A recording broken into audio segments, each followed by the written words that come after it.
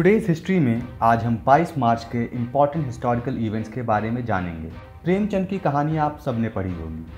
उनकी पहली कहानी, दुनिया का सबसे अनमोल रतन प्रकाशित करने वाले मुंशी दया नारायण निगम का जन्म आज के दिन ही हुआ था।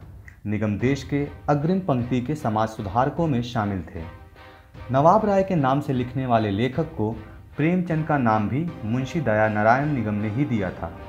सन अठारह सौ तिरानवे में इंडियन रिपब्लिकन आर्मी की स्थापना करने वाले भारत के स्वतंत्रता संग्राम के महान क्रांतिकारी सूर्यसेन का जन्म आज के दिन ही हुआ।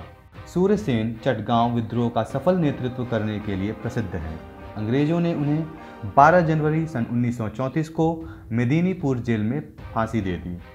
सन 1942 में ब्रिटिश प्रधानमंत्री चर्चिल ने ब्रिटिश संसद सदस्य सर स्टेफर्ड क्रिप्स की अध्यक्षता में सन 1942 में ब्रिटिश प्रधानमंत्री चर्चिल ने ब्रिटिश सांसद सदस्य सर स्टेफर्ड क्रिप्स की अध्यक्षता में आज के दिन ही एक दल भारत भेजा था, जिसे क्रिप्स मिशन कहते हैं।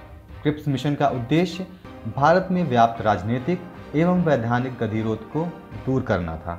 लेकिन भारत को पूर्ण स्वतंत्रता के स्थान पर डोमिनियन स्टेटस का दर्जा दिए जाने की व्यवस्था के कारण इसका विरोध हुआ और ये मिशन असफल रहा।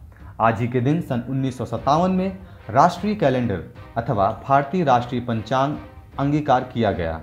भारतीय पंचांग शक संवत पर आधारित है। चैत्र भारतीय राष्ट्रीय पंचांग का प्रथम माह होता है। सन उन्नीस सौ तिरानवे में तिराना सन उन्नीस सौ तिरानवे में जल आधारित स्रोतों के सस्टेनेबल यूज़ को उद्देश्य से आज के दिन दुनिया भर में विश्व जल दिवस मनाया जाता है। यानी वर्ल्ड वाटर डे। इसकी शुरुआत सन उन्नीस सौ तिरानवे में संयुक्त राष्ट्र संघ के पहल से हुआ था।